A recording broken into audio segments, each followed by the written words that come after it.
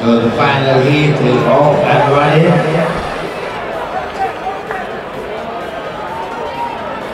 And on the outside is Kanzuka.